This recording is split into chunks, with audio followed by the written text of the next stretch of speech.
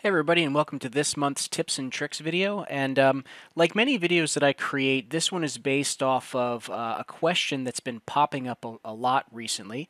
Um, and it has to do with working with reference models and Trimble Connect.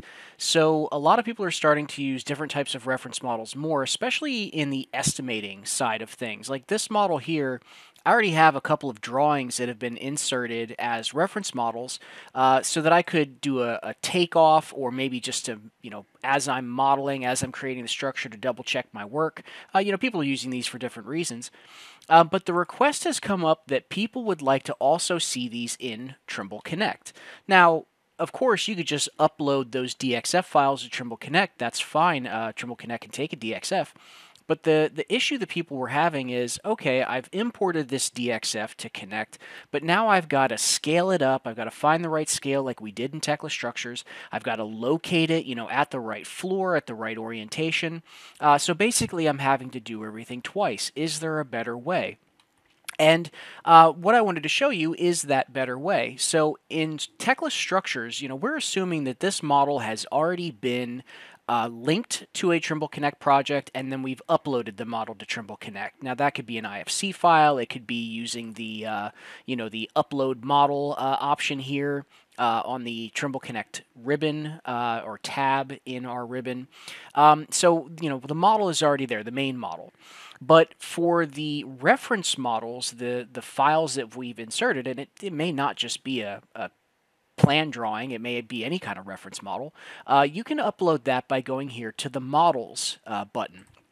So when I click on Models, this opens up um, a what we call it the Trimble connector, and in here you can see it's going to show currently what's in this project. So if I were to expand this out, I can see the current Tekla model um, that's in Trimble Connect. And I actually called it Trimble Connector for the purposes of this video. And you can use this to enable an overlay inside of the Tekla Structures model. I'm not going to show you that today, but that's pretty handy for being able to compare the current Structures model to the Trimble Connect uh, model that was uploaded previously. So I'm here today to talk about this Reference Models tab. Um, so on the Reference Models tab is where you can click this plus sign and you can navigate to a place to put the reference models that you're currently using in this Tekla Structures project. So I'm going to go into this Trimble Connector project and then the structural folder where the, uh, the upload went, and I'll just say OK.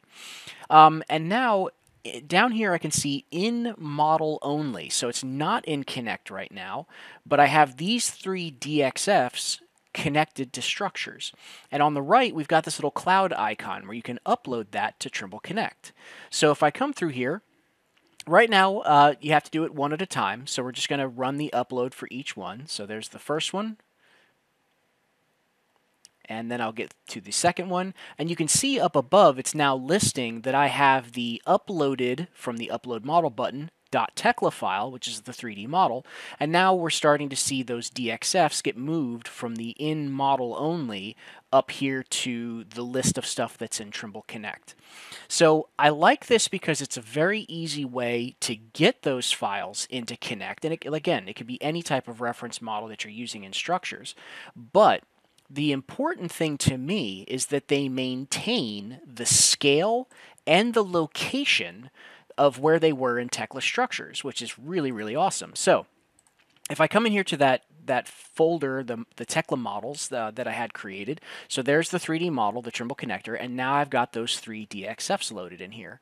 So if we go and uh, look at that .tekla file, Give it a second here to load. So there's the 3D model. And if I go down and choose everything in project, where I can actually expand that directory, there's my three DXFs, my three reference uh, models. And if I start to enable those, you'll see that they come in, again, to scale already and in the location where they were in structures. So I find this to be a super easy way. I might change my colorization there if I was going to keep that. Uh, but you can see it's coming in at the right location. Super easy. You don't have to rescale it. You don't have to be moving it around in Trimble Connect. It's very, very straightforward. Um, so that to me, is a, much better way to get your stuff uploaded into uh, Trimble Connect from Tekla Structures. And one last time, I'll just reiterate, this works with any type of reference model that you might have inserted into Structures to get it into Connect at the right scale and at the right location uh, where you need it to be. So, super quick video this time. I hope you found this helpful. Like I said, it's come up a few times lately, especially with people doing Estimodeling uh, workflows. They want to be able to, you know, see that same data in Connect. This can be done even with IFCs that have been uploaded to Connect using PowerFab. So you can link this up to an existing uh, Trimble Connect project that was created by PowerFab and then link these up in the same exact way, again, to scale in location. Uh, so lots of potential workflows here. Anyway, thanks for watching. Hope you found this helpful. Feel free to leave any questions or comments below um, or any ideas for future videos. Thanks for watching.